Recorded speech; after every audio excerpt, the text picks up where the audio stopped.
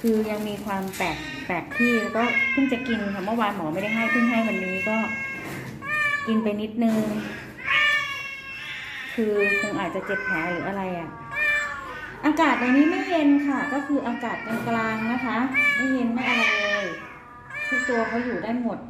ทุกตัวก็ไม่มีไม่มีผ้าไม่มีอะไร อากาศก็คือกลางๆไม่ร้อนไม่เย็นค่ะ อืม ดูสายตากดกิ้วไม่อ้อมมากเลยอะ สายตายังกดกิ้วไม่อ้อมอยู่แมวหมอนี่แมวหมอกวาง อันนี้แมวของหมอกวาง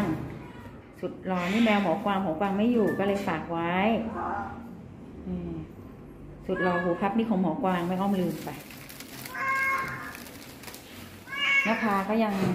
ยังนี่อยู่ค่ะหมออ้อมก็มาดูมันทุกวันแหละ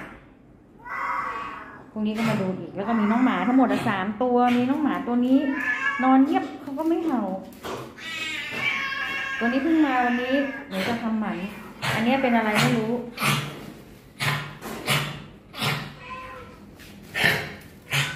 เขาแค่เป็นอะไรไม่รู้จอมโวยวายค่ะ ที่เสียงดังก็จะมีตัวนี้ มีตัวนี้ แล้วก็มีคุณนภา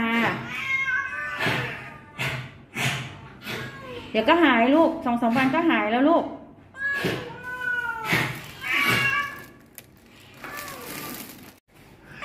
หมอบอกกินแล้วค่ะ แต่ว่านี่ยังมีเงี้ยวเงี้ยวเงี้ยวอยู่แต่กินแล้วอืมดูเสียงกรงอื่นเขาเงียบแล้วค่ะ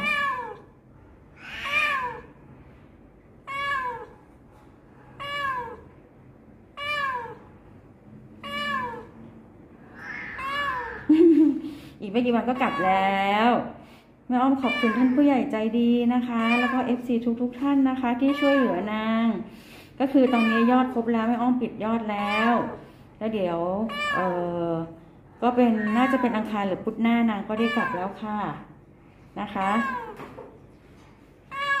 เงียบสิคะคนอื่นเขาลำคาญลูกนะคะเข้าใจไหมคะ นี่เอาอาหารเปียกมาให้ทุกวันเลย อืมนี่ค่ะก็เงียบแล้วค่ะ จุนแม่ยังไม่มาอีกเหรอลูก จุนแม่ไปหลายวันนะลูกยังไม่มาเลยจุนแม่อืมโวยวายวิวสองตัวเนี่ยค่ะโวยวายค่ะนี่ที่หมา น่าจะทำหมันมั้งเนี่ยตัวเนี้ย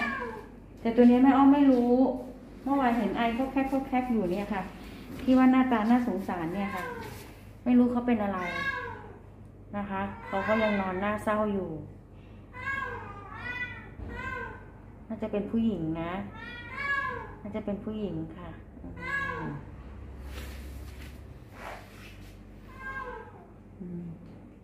นอนกระบะซ้ายซะอย่างนั้น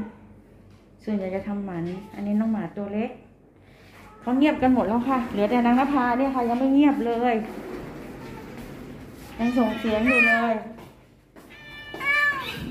ยังส่งเสียงเงี้ยวง้าอยู่เลยค่ะ อืม